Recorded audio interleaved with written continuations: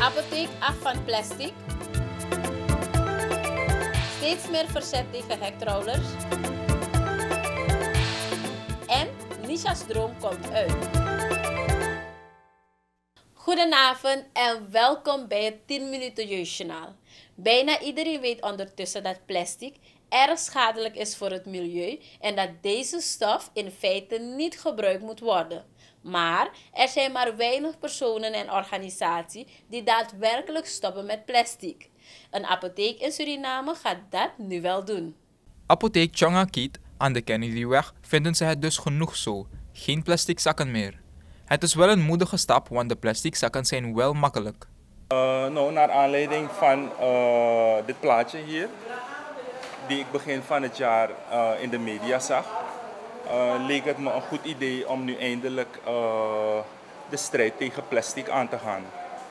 Ik vind het een goede mening. Het is goed, want mensen, wanneer zolang je ze ziet, zitten ze maar plastic zakken te gooien aan alle plaatsen van, de, van Suriname. En dat als het in de goten komt, kan het ook verstopt raken. We gaan dus per 1 januari niet hiermee kunnen stoppen nog.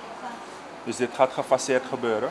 Uh, waarmee we wel gaan stoppen, dat zijn de grotere, we noemen dit boterhamzakjes, waarin we de medicatie verpakken.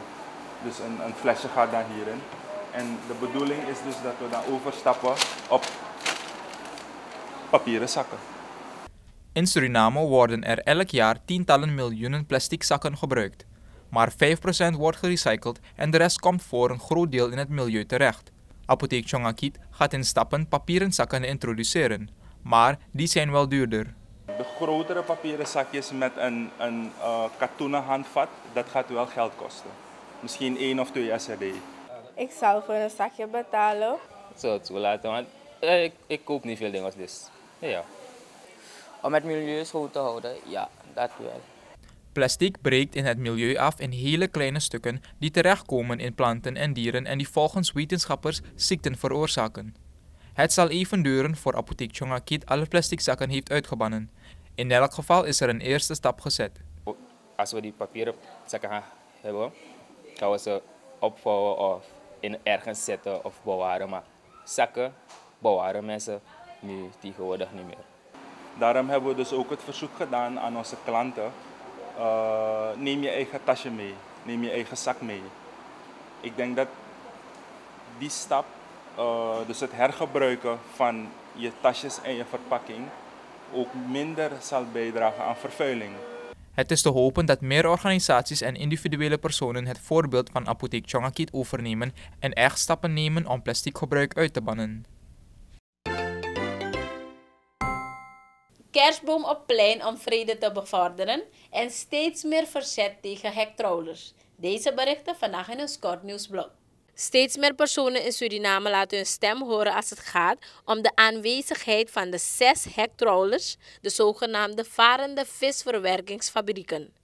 Het nieuws is naar buiten gekomen dat een ex-directeur van het ministerie van Landbouw, Veeteelt en Visserij in 2017 aan een Chinese ondernemer vooraf toestemming had gegeven om met deze hektrollers naar Suriname te komen.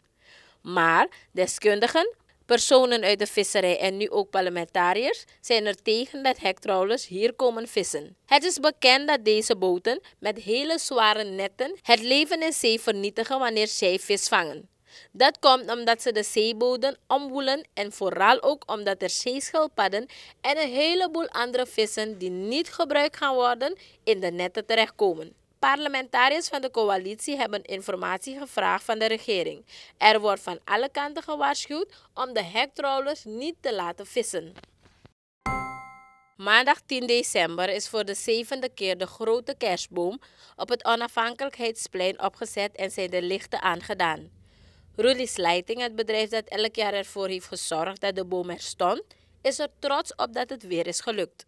Volgens meneer Ramon Jawala Persat, directeur van Rudy's Lighting, is het plaatsen van de kerstboom een traditie geworden. Hij noemt het een bijdrage van zijn bedrijf aan het helpen bevorderen van vrede in Suriname. Bij het aanzetten van de lichten was er een kleine ceremonie met kinderen uit de huizen die zijn getrakteerd door een cateringbedrijf. De overheid zorgt voor stroom en voor het opzetten van de boom hebben acht personen van Roelies Lighting en zes gedetineerden samengewerkt. De boom is tussen 27 en 28 meter hoog. Elk jaar en ook nu weer gaan er elke avond tientallen personen speciaal voor deze boom naar het plein en die blijft deze keer staan tot en met 4 januari.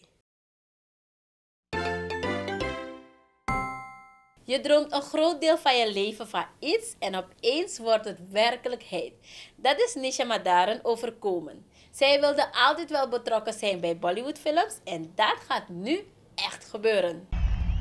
I never knew I could fly so Nou, um, eigenlijk moet het ook nog goed tot me doordringen, omdat ik, uh, ik had het ook bij Nick en Simon geloofde het niet dat het echt gebeurde. Ik ben opgegroeid met uh, Bollywoodfilms, Bollywoodliederen. En ik ben altijd into de Bollywood geweest. En um, ik had dit nooit gedacht. Het is heel iets geweldigs.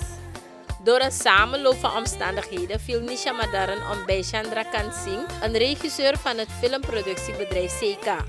Hij zag Nisha in een clip waar de premier van India positief over had gereageerd op Twitter.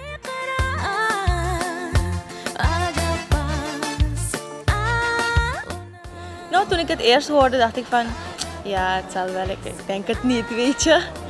Ik hoorde van, ja, er is een director die aan het filmen is in Griekenland. En hij wil uh, dus overvliegen naar Nederland. Wij waren in Nederland voor een gesprek.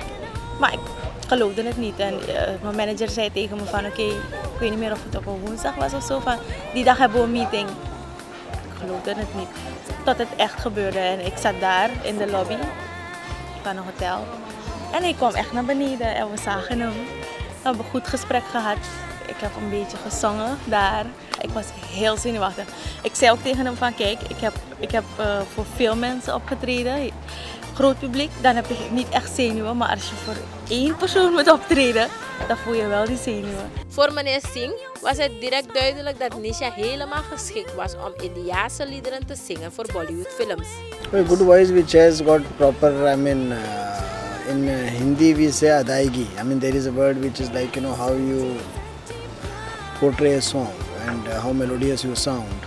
And uh, when you are doing all those gimmicks with the voice, and while the singing there are lots of you know up and downs and how you create that the level and all. I mean doing during all those things, still you are sounding nice. That's what is nice for Na de ontmoeting was Nisha gevraagd naar India te gaan, maar zij vroeg meneer Singh om naar Suriname te komen. Nisha tekende hier eerder deze week een contract om een lied te zingen voor een film die volgend jaar uitkomt. Nisha beseft dat deze kans haar ver kan brengen. Kijk, als je, als je, mijn liederen gaan wel internationaal, maar Bollywood liederen die gaan echt over de wereld. Weet je? En, en ik wil met die liederen wil ik wel veel meer mensen bereiken. En ik denk dat Bollywood wel de juiste plek is daarvoor. Zo'n contract of zo, ja, zo'n contract krijg je niet echt vaak. Het is echt gewoon in een miljoen. Dus ik vind het echt tof dat zij het heeft gehad. En ze is ook een goede zanger. Yes. Het lied voor de film met de titel Kia Mastri Kia Doom is hier opgenomen en wordt verder bewerkt in India. Nisha beseft wel dat het hierna erg druk zal worden en dat ze vaker voor langere tijden in India zal moeten blijven. They do shows in every from America to UK to Caribbean to Europe, Asia, Bangkok, Thailand, Singapore, Australia, New Zealand, everywhere. So we have huge NRI audience all over the world. So it's a big thing. Het gaat nu uh, bij dit contract gaat het om één lied, een, een, eigenlijk de hoofdsong van de film, die volgend jaar in juni uitkomt. En van daaruit komen er nog andere samenwerkingen. Ik heb nu al bezig met dezelfde director. Hij heeft me eigenlijk al gevraagd voor nog andere films en andere liederen. En ik zie wel dat het, het gaat lopen. En de 10 minuutjes zijn om. Bedankt voor het kijken. Sri Bishwiti. Fijn weekend. Doei doei.